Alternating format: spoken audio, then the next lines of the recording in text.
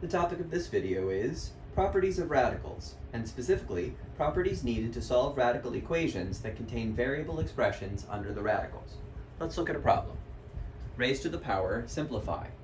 We have the square root of the difference 3x minus 4 plus 2, all in parentheses, squared.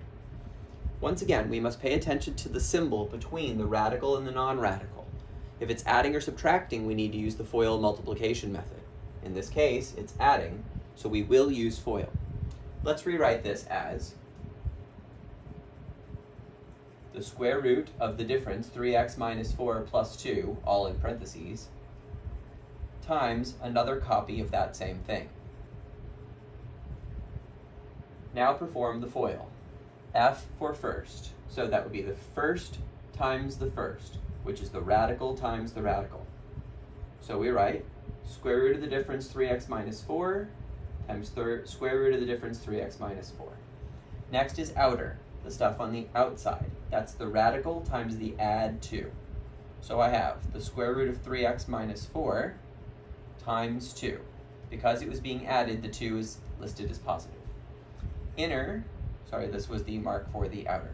Inner would be the stuff that's on the inside.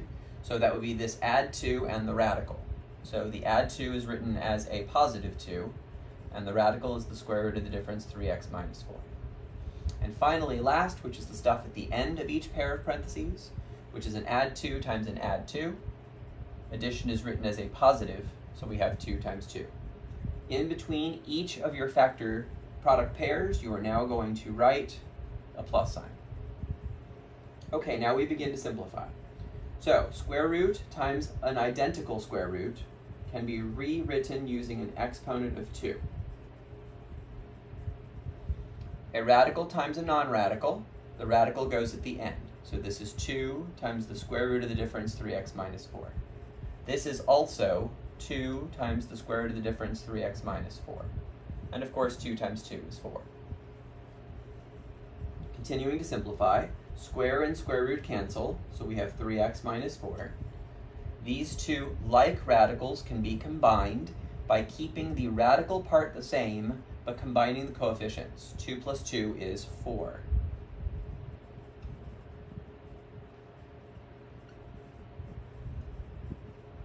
And finally, put like terms together that can be combined. In this case, we have a subtract 4 and an add 4. Those cancel to the number 0. When you add opposites, it cancels to the number 0.